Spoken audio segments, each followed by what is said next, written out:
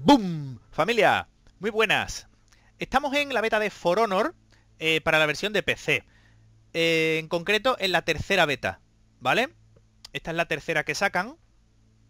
Y a mí me parece bien que, que saquen diferentes betas antes de que salga el producto final.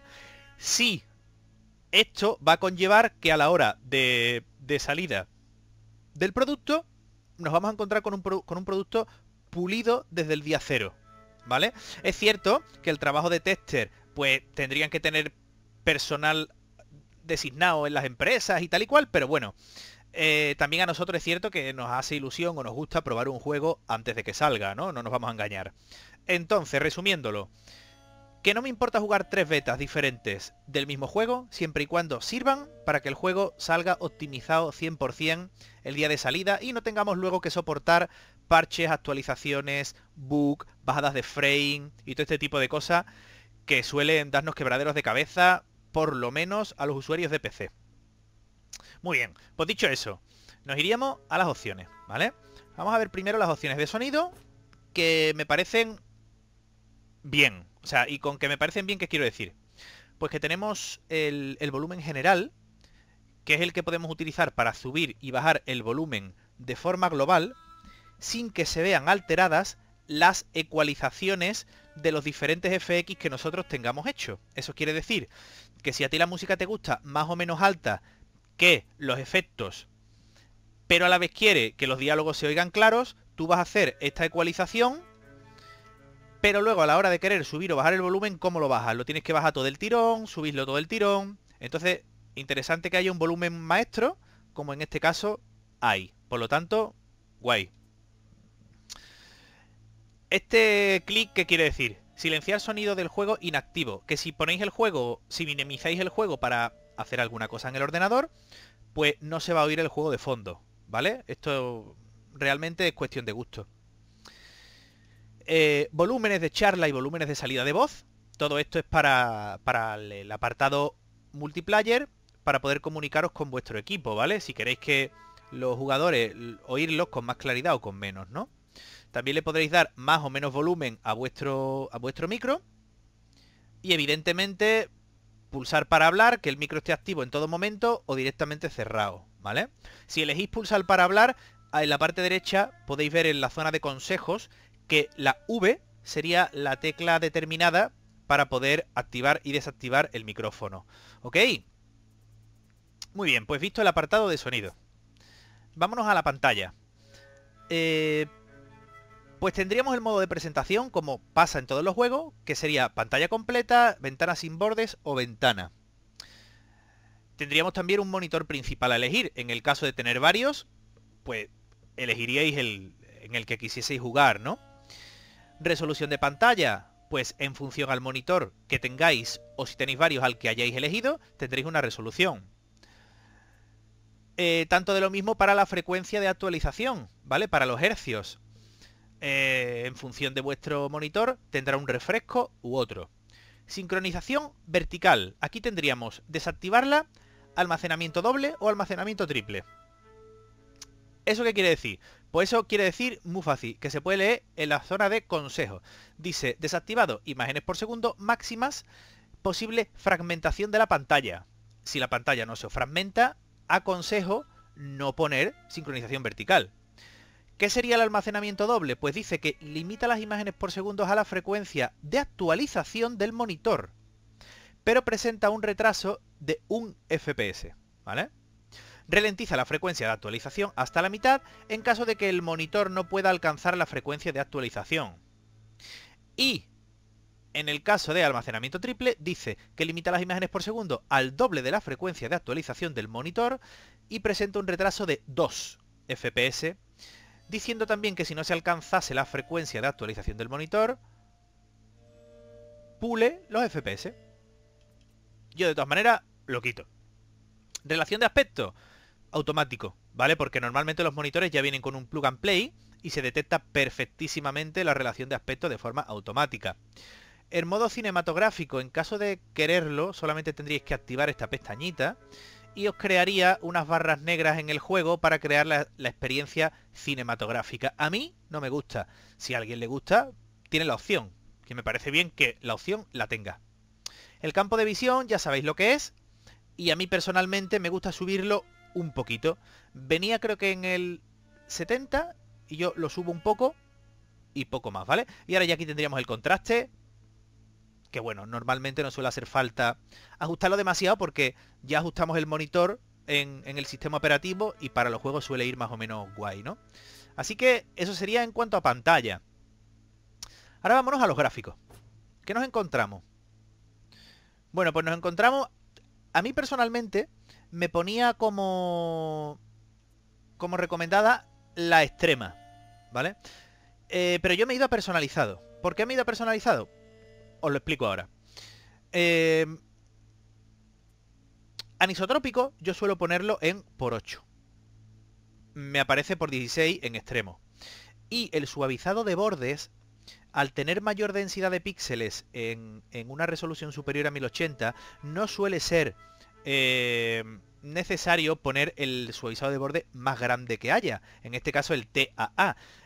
Por eso lo pongo en personalizado, porque yo he probado con el juego al máximo y he probado con el juego en el suavizado de borde en SMAA.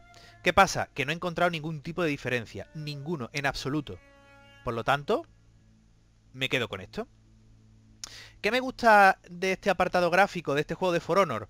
Bueno, pues que en la parte derecha os aparece eh, una ventana que dice consejo y te desglosa qué hace cada, cada nivel de, de efecto, ¿no? Ya sea en el filtro de textura, te explica y dice, oscila entre por 2, que sería el más rápido, o por 16, que sería el más lento. Reduce el desenfoque dependiendo del nivel seleccionado. Ojo, reduce el desenfoque, ¿vale? Eh, el SMAA o el suavizado de bordes, pues lo mismo. Tendríamos el FX, que sería una técnica de postprocesado que funciona bien incluso con un hardware antiguo, ¿vale? Todos aquellos que el juego lo mováis con dificultad, pues el suavizado de borde lo podríais directamente quitar o ponerlo en FX, que sería el que, el que menos requisito de, hardware os va a pedir. Evidentemente no os va a quitar los dientes de sierra a tope, pero como no se puede tener todo, este sería el más factible para equipos mmm, medianos o bajos, ¿vale? Y ya después tendríamos los diferentes suavizados de borde superiores, que darían un mejor resultado, pero a coste de un rendimiento ligeramente mayor, ¿vale? En el caso del TAA, que sería el, el, tope que nos ofrece aquí, dice que reduce los artefactos debido al anti-aliasing temporal, soluciona las líneas escalonadas de vegetación y reduce el destello de movimiento. Yo ya os digo, he probado este y este y a mí, a mí personalmente, en mi caso concreto con mis componentes, lo mismo me da que me da lo mismo, así que el SM. La escala de renderizado, que no la vamos a tocar, porque nos dice, el resultado se ajusta a la escala de la resolución de tu dispositivo mediante una técnica llamada mejora temporal. Con los ajustes actuales tu resolución de renderizado es la nativa de mi monitor.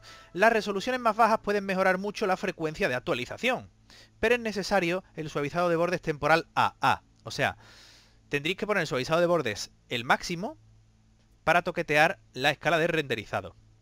Así que mejor no meteros en berenjenales si no son necesarios, ¿vale? Detalle geométrico tendríamos extremo, alto, normal y bajo, ¿vale?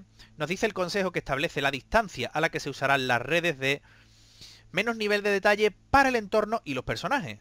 Pues nada, ¿queréis más detalle? Extremo. ¿Queréis menos detalle? Alta. ¿Vale? O sea, hay poco que... Poco que aclarar.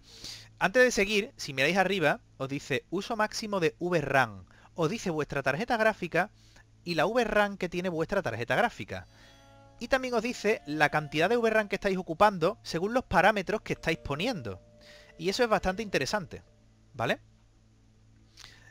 Eh, calidad de textura. Establece la calidad de las texturas y nos dice como nota que unos valores más altos requerirán una mayor memoria gráfica, evidentemente, ¿vale? Veis que si voy abajo, me ha bajado el, requerimiento en megabytes, me ha bajado eh, comparándolo a la calidad de textura alta, ¿vale? Sombras dinámicas. Aquí estaríamos en lo mismo. pero teniendo en cuenta que las sombras, en general y en todos los juegos, consumen muchísima memoria de VRAM. Entonces, las tarjetas suelen sufrir bastante con el tema de las sombras. Me lo puedo permitir en extremo. ¿Qué es lo que pasa si lo pongo sin sombra? Que gano megabytes. Así que en el caso de que necesitéis ganarle megabyte a vuestra a vuestra tarjeta gráfica porque tenga pocos gigas de memoria, pues ya sabéis que podéis atacar sobre las sombras dinámicas y sobre el suavizado de bordes, ¿ok? Yo en este caso las pongo en extrema. Detalles del entorno, tres cuartos más de lo mismo, con la diferencia de que nos explica qué es lo que pasa o sobre qué incide si lo ponemos en alta, normal o baja, ¿vale? Volvemos a la parte derecha y nos dice que en la parte baja las hierbas estarían desactivadas y la calidad del cielo sería baja. Eh, la media sería una media y la alta diría o dice que la capacidad de la hierba y del cielo serán altas y el mapeo de desplazamiento estaría activado. ¿Vale? Oclusión ambiental. Otra cosa que también ataca en cierta medida a, las tarjetas gráficas, ¿vale? En este juego, en concreto, consume muy poquito. O sea, el, cambio de oclusión ambiental entre las distintas oclusiones ambientales o incluso no tenerla, el acuso es relativamente suave, pero bueno, también nos explica lo que, lo que hacen los diferentes métodos de oclusiones ambientales, ¿vale? Y ahora después podríamos optar poner o no poner reflejos dinámicos y nos dice, requiere una gran potencia de procesamiento de gráficos. Ojo.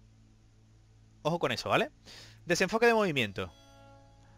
Aquí cero problema. Aquí eh, el aspecto gráfico no lo merma. Esto es cuestión de gustos, ¿vale?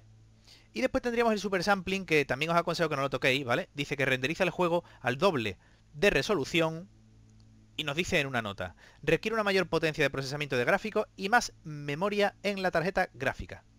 ¿Ok? Se va a ver mucho mejor el juego a costa de mm, muchísima... Eh, muchísimos megas de nuestra tarjeta gráfica, ¿vale? Así que casi innecesario, en serio. No se suele usar en ningún juego el super sampling y no, y no os hace falta, os lo digo en serio, ¿vale? Así que... Poco más, porque ya habríamos visto la pantalla, el sonido y hemos terminado con los gráficos. Vais a tener algún gameplay que otro, por supuesto, así que simplemente espero que lo disfrutéis y que os ayude, al menos, a, valorar si el juego os puede interesar más o os puede interesar menos de cara a la compra, que ya sabéis que este juego sale el 14 de mm, febrero. Le queda poquito, ¿vale? Saldrá para todas las plataformas y poco más. Así que yo por aquí me despido. ¡Chao!